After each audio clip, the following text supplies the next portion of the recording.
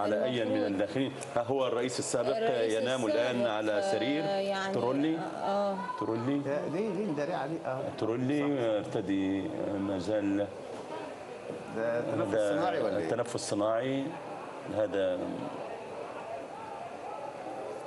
هو يعني هو أعتقد إنه في حالة من الوعي لأنه بي- بينظر نعم في حالة من الوعي بالتأكيد واضح. و- و- ويرى حوله. و- ويبدو أنه قد حلق ذقنه على عكس ما كان يقال في وقت سابق. نعم. وها هو أيضا يبدو أنه في كامل وعي الحقيقة. آه.